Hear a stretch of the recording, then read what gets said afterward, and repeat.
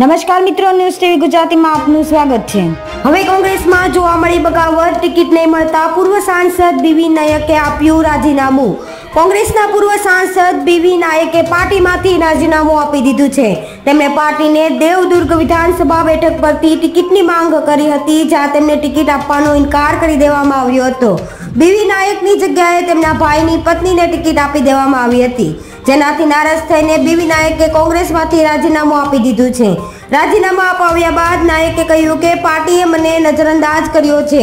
પાર્ટીની અંદર ગ્રુપબાજી ચાલી રહી છે. તો ભારતીય જનતા પાર્ટી પ્રધાનમંત્રી નરેન્દ્ર મોદીના નેતૃત્વમાં રાષ્ટ્રહિતનું કામ કરી રહી છે.